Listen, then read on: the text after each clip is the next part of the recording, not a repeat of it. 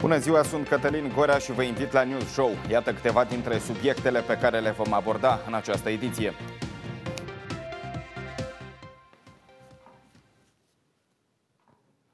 S-a stins din viață primul președinte al Republicii Moldova. Mircea Snegur a decedat la vârsta de 83 de ani noaptea trecută după o boală incurabilă, a anunțat azi dimineața apropiații familiei. Președinta Maia Sandu a anunțat pentru sâmbătă zi de doliu național, precizând că Mircea Snegur a fost unul dintre cei care a pus temelia statului suveran și independent Republica Moldova. Putem să punem începutul unei noi epoci în viața Moldovei, să conturăm un viitor liber și democratic, un viitor în care drepturile omului vor sta la temelia noii puterii de stat. Trăiască Moldova independentă!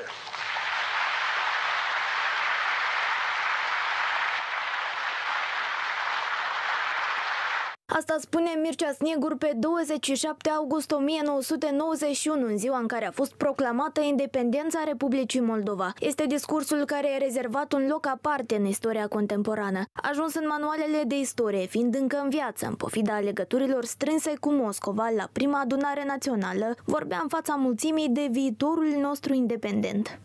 Dragi tovarăși, dragi compatrioți, ne așteaptă o muncă încordată. Problemele noastre noi trebuie să le, să le rezolvăm. Și suntem în stare, și din punct de vedere economic, și din punct de vedere intelectual.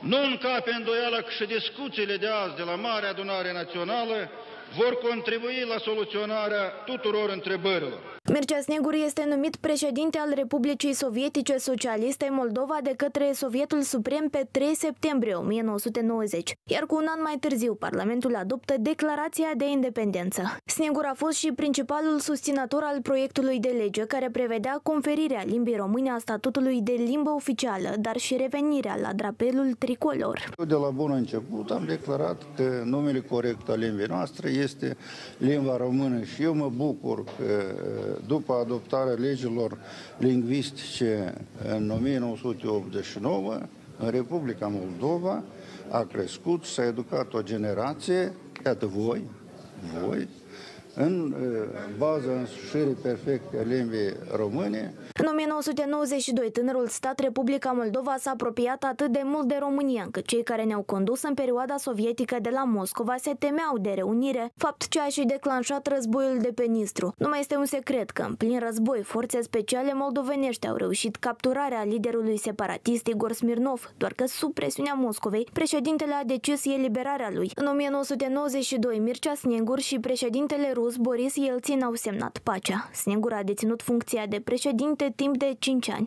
iar în decembrie 1996 a pierdut alegerile în fața lui Petru Lucinski. Mircea Snegur va rămâne în memoria noastră ca omul care a stat la leagănul independenței Republicii Moldova. Trăiască Moldova independentă! Cu aceste cuvinte și-a încheiat adresarea domnul Mircea Snegur pe 27 august 1991.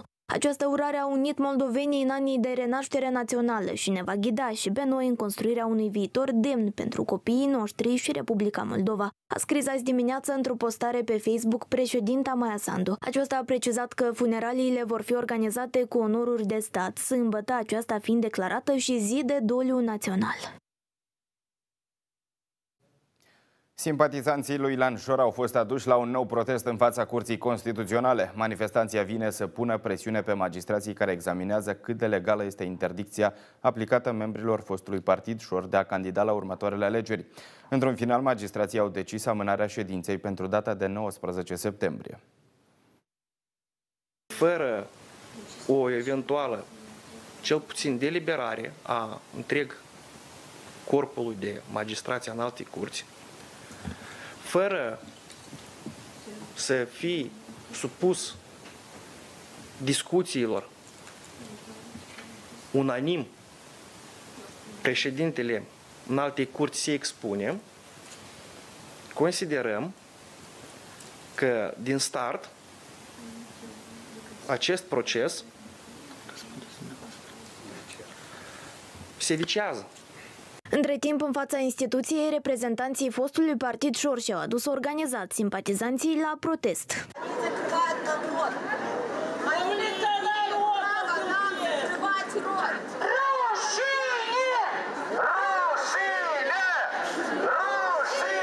Astăzi am venit în coa cu să, să susținem anumiți, pe anumite persoane la care se încalcă drepturile, fiindcă în Constituție este scris că fiecare persoană are dreptul să candideze și drepturile astea se încalcă și asta este o încălcare care nu poate avea loc într-o republică.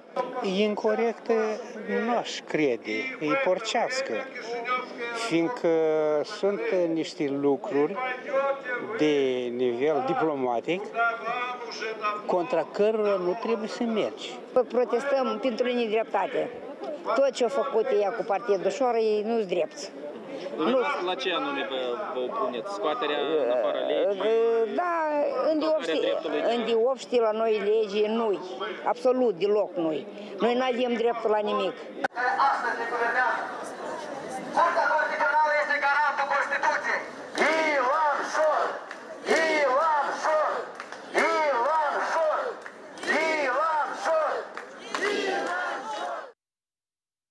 Conducerea țării a convocat azi dimineață cei mai importanți producători agricoli într-o ședință ca să le spună că agricultura se mișcă într-o direcție greșită și că e nevoie de o abordare nouă pentru dezvoltarea sectorului agroindustrial.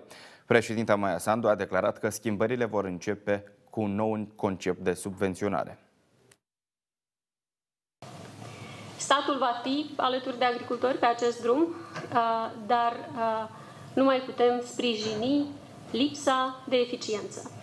Subvențiile oferite agricultorilor trebuie să încurajeze sporirea competitivității produselor agricole, nu să continue obiceiul prost de a risipi banii publici fără rezultat. Trebuie să înțelegem un lucru, subvențiile agricole nu sunt un program de protecție socială, avem și protecție uh, socială, asta este pentru o altă categorie de cetățeni. Subvențiile nu pot acoperi greșeli de planificare, datorii sau uh, procurări care nu au nicio legătură cu uh, dezvoltarea sectorului agricol. Subvențiile trebuie să fie despre agricultură eficientă, despre agricultură performantă. Sistemul de subvenționare trebuie ajustat, așa încât să ducă la dezvoltarea agriculturii competitive. El trebuie să ofere instrumente pentru creșterea productivității și să încurajeze pe agricultori să dezvolte și alte direcții prioritare pentru țară, așa cum e bunăoară în sectorul zootehnic. Cu un reportaj amplu despre întrevederea agricultorilor cu președinta Maia Sandu venim în următoarele buletine de știri. Ministerul de Externe al Rusiei și-a exprimat un puternic protest în legătură cu decizia Chișinăului de a-l expulza pe directorul Sputnik Moldova, cetățeanul rus Vitali Denisov. Însărcinatul cu afaceri al Republicii Moldova la Moscova, Sergiu Goncearenko, chemat ieri la Ministerul Rus de Externe, a fost informat că pasul neprăietenos al autorităților moldovenești nu va rămâne fără un răspuns adecvat din partea Rusiei. Cel puțin asta scrie presa rusă, care a reușit să-l surprindă pe Goncearenko, dar care nu le-a oferit nicio declarație. Даже собраться не дали. сентября же еще было выдано с остановлением. Почему только сегодня выдали? Скажите, что вам сказали в министерстве? Ieri, purtătoarea de cuvânt a Ministerului Rus de Externe, Maria Zaharova, a calificat decizia Chișinăului drept una nefondată și provocatoare. Reacția a venit după ce Inspectoratul General pentru Migrație a anunțat că un cetățean rus în vârstă de 56 de ani a fost declarat persoană indezirabilă pentru implicarea în treburile interne ale Republicii Moldova, acțiuni prin care a pus în pericol securitatea informațională a țării noastre. Acum Vitalie Denisov are interdicția de a intra în țară pentru o perioadă de 10 ani. Republica Moldova se va încălzi cu gaze grecești la iarnă. Țara noastră va cumpăra gaz de la compania grecească DEPA. Anunțul a fost făcut de Energocom, care spune că aceștia au venit cu cea mai competitivă ofertă și au câștigat licitația pentru achiziția de gaze naturale. Volumele achiziționate sunt însă pentru primul trimestru al anului viitor. Noi am comunicat că avem deja gaze necesare pentru uh, consumul Republicii Moldova până la sfârșitul lunii decembrie. Avem o alt de mers din partea la Moldova Gaz, care a solicitat din partea Energocomului să facă achiziții pentru primul trimestru anului 24. Una dintre ofertele cele mai bune uh, a fost cea de la compania grecească DEPA, care ne-a livrat o cantitate anumită de gaz. Noi nu putem comunica pentru că aceste ține de o chestiune tehnică să putem transporta această cantitate de gaz către consumul curent al Republicii Moldova și depozitat pentru a avea în perioada rece anului, iar prețul și toate detaliile suplimentare vor fi comunicate după ce vom finaliza toată procedura de achiziție din sursele BERT. Licitația a avut loc pe 5 septembrie pentru furnizarea volumelor de gaze naturale ce depășesc 100 de milioane de metri cubi sau un teravat-oră. Într-un comunicat, Energocom a precizat că achiziția respectivă va fi acoperită din sursele Băncii Europene pentru Reconstrucție și Dezvoltare, care a semnat un acord de împrumut cu Guvernul Republicii Moldova.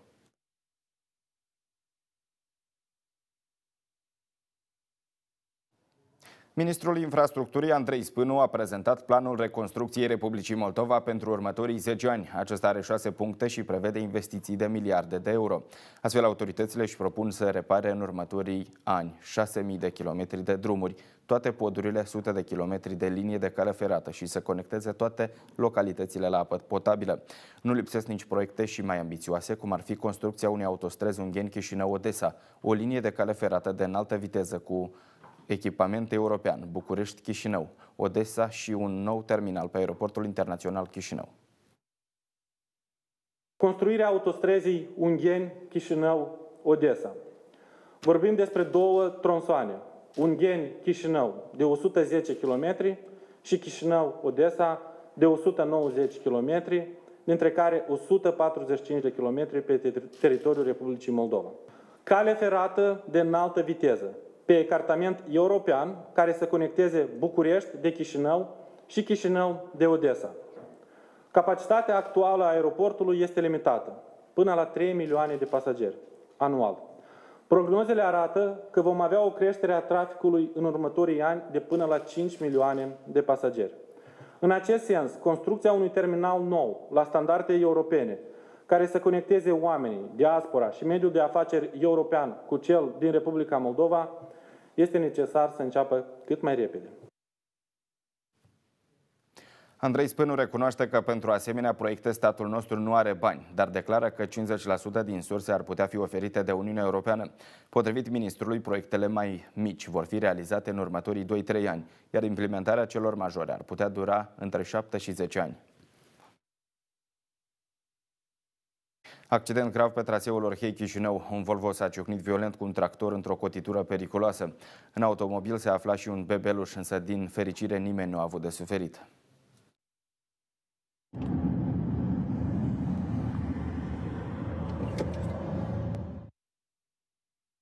Accidentul s-a produs în această dimineață. În urma impactului din automobilul grav avariat a început să iasă fum.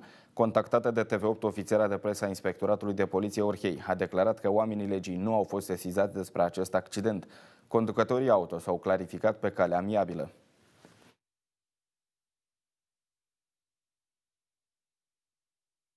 Un grup de părinți din Durlești au insistat din propria inițiativă 8 treceri de pietoni. Aceștia spun că au făcut-o pentru siguranța copiilor lor, întrucât numărul mare de accidente rutiere din localitate îi pune în gardă. Oamenii spun că au solicitat de nenumărate ori primăriei să întreprindă măsuri, dar fără succes, așa că au luat inițiativa în propriile mâini. Acțiunile acestora însă au fost deloc pe placul administrației locale. Chiar dacă funcționarii recunosc că trecerile de pietoni sunt necesare, au calificat gestul părinților drept samovolnicie. Aceasta este trecere pe care a fost construită cu ajutorul și suportul părinților de la instituția de învățământ. Aceasta a fost o trecere foarte periculoasă până ce nu s-a construit anume trecere supraînălțată. Uh, avem și cadre luate unde chiar recent un copil era să fie accidentat pe această trecere până a fi supraînălțată. Aici este o zonă unde se circulă cu o viteză sporită. Oleg Popșo este liderul unui grup de inițiativă din Durlești, din care fac parte peste 50 de membri. Bărbatul spune că locuitorii suburbiei de mult timp solicită primăriei să instaleze mai multe treceri de pietoni, mai cu seamă în zonele aglomerate unde s-au înregistrat mai multe accidente rutiere. Când au văzut că administrația locală nu ia măsuri, oamenii au pus mână de la mână și au instalat 8 treceri de pietoni, lucru pe care primăria nu l-a acceptat, iar în consecință Oleg Păpșoi, ca lider al grupului, s-a ales cu două amenzi, a câte 900 de lei fiecare și două procese verbale. Să ne pare nostim și nu corect a face lucruri bune și primăria în loc să meargă să le înregistreze la INSP, uh, ei ne pun uh, bețe în roate și ne amenință că vor fi scoase, că nu se merită, că nu trebuiește. Locuitorii suburbiei spun că trecerile de pieton sunt necesare în aceste zone. Vă spun sincer, iată pe dimul mai încolo este o întorsătură. Foarte multe mașini au nimerit chiar cu, cu roțele pe patul omului. Foarte multă lume a decedat, și copii, și maturi. Și eu aș dori ca așa ceva să facă mai des. Era foarte periculos că într-o zi eu vinem de la magazin și auzim că un șofer a trecut cu foarte mare viteză. Foarte periculoasă, foarte periculoasă și fluxul de oameni, de cetățeni, de copii și de mașini este extrem. Sunt mii, mii de școlari și în perimetru a un, nici un cartier nu și e o școală și încă o școală. Zebrele au fost instalate în locurile aglomerate, dar prioritate au avut zonele din preajma școlilor și grădinițelor. Această trecere de pieton de pe strada Tudor Vladimirescu din Durlești a fost instalată tot de părinții din grupul de inițiativă. După cum observați, aici transportul circulă fără încetare, iar de când a apărut trecerea de pietoni, locatarii spun că se simt mai în siguranță. Chiar era incomod, pentru că trebuie să aștepți și câteva minute. Dacă șoferii erau conștienți și vedeau că ești copilul alături, da, se opreau. Dacă nu, chiar era foarte incomod. Acum e bine, chiar mă bucur. mai în siguranță Da, da, da. Specialiștii în urbanism și amenajare de la primăria Durlești spun că trecerile de pietoni au fost instalate ilegal, iar acum așteaptă o reacție de la INSP pentru că nu știu ce să facă cu ele. S-a adeverit că toate trecerile de pietoni supraînălțate nu au fost coordonate cu nicio instituție publică. În primul rând trebuia fi elaborat un proiect tehnic de către specialiști în domeniu, deoarece trecerile supraînălțate, se, înainte de a fi construite, se proiectează, se calculează. După părerea mea, ele trebuie dezinstalate și amplasate conform regulamentului. Administrația publică locală crede că trecerile de pietoni sunt o necesitate în Durlești, dar instalarea lor durează încât bugetul pentru anul 2023 nici până acum nu a fost aprobat. Din motiv că nici în luna septembrie nu avem bugetul pentru anul 2023 aprobat. Deci ăsta a fost motivul cel principal. Nu avem buget aprobat, nu putem efectua lucrări pe uh, treceri de pietoni denivelate. Nu cunosc din ce motiv nu a fost aprobat bugetul. Presupunem că este un an electoral și prin aceste pârghii, ei cred că vor stopa lucrările în localitate. Am încercat să aflăm care este poziția Inspectoratului Național pentru Securitate Publică cu privire la trecerile de pietoni instalate la Dorlești, dar serviciul de presă al NSP nu ne-a răspuns la telefon. Nu am reușit să aflăm nici câte accidente au avut loc în această zonă. Scandal pe strada lacului din capitală. Mai mulți locuitori au blocat traseul pentru a opri accesul unei betoniere care lucra pe un șantier. Oamenii spun că blocul cu 8 etaje se construiește ilegal, fără autorizațiile necesare și că lucrările le afectează casele. De jumătate de an ei cer stoparea acestora, dar fără rezultat. De cealaltă parte, reprezentanții companiei de construcții susțin că respectă toate regulile și că dețin toate actele permisive.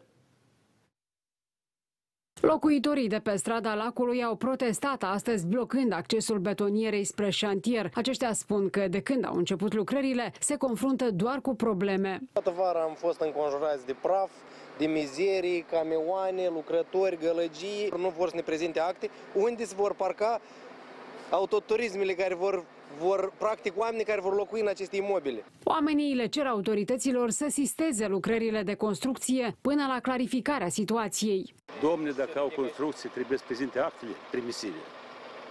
Sunt obligați să le prezinte. Nu le prezintă. Sigur, nu, nu vor să prezinte. Nu, nu vor și gata, da?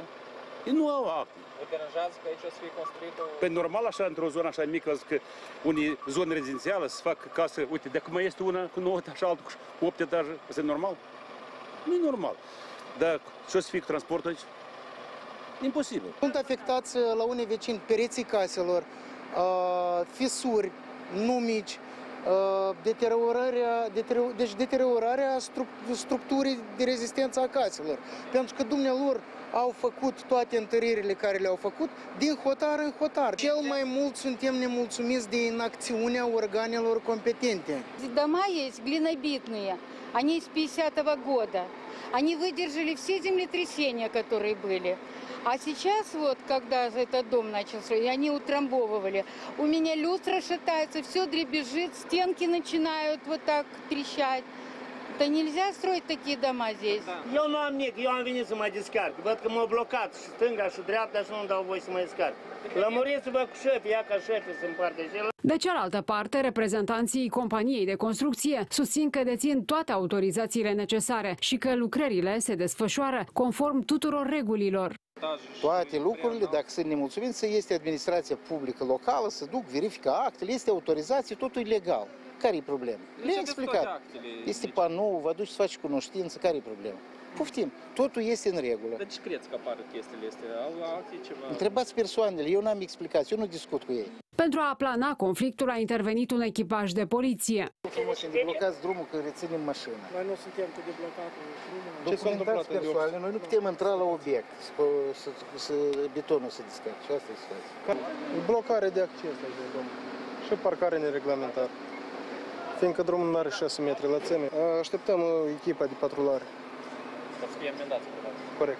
Contactați de TV8, reprezentanții Direcției Arhitectura Primăriei au declarat că nu au oferit autorizație pentru construcția blocului respectiv și că decizia a fost contestată în judecată de dezvoltator. Instituția a precizat că va oferi ulterior mai multe detalii. Doamnelor și domnilor, acestea au fost informațiile despre care am reușit să vă spunem până la miezul zilei. La ora 15 venim cu știri în limba rusă. Să aveți o zi cât mai